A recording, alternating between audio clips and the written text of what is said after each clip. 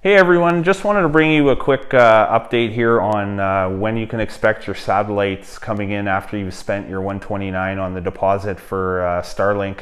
Uh, I've been doing some research on it. I've been trying to find uh, something from the company that gives more uh, detailed timeline when people can expect um, their satellites that they've pre-ordered.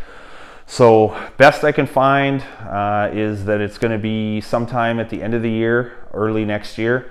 Um, I believe it's a hardware issue. They just can't manufacture enough stuff uh, in the time they need to get it out to everybody. So I don't think they anticipated the amount of um, people wanting the product right off go. So I think that maybe took them aback a little bit.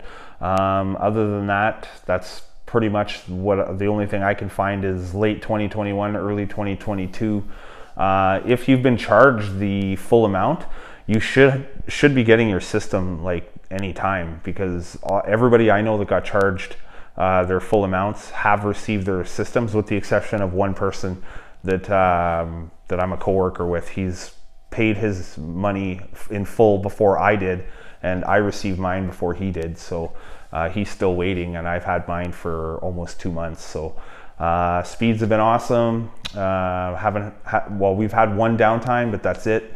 Um, other than that, like I'm recording out in my garage right now, and I'm going to upload from my garage, which I couldn't do previously with my uh, old uh, satellite provider. So um, hurry up and wait, guys. Like uh, it's it's coming. So hopefully India can get their um, their licenses all squared away for Starlink and they can start uh, taking pre-orders again. I think they stopped taking pre-orders out there, so hopefully that will continue in the near future. Uh, okay, I'm gonna let you guys go.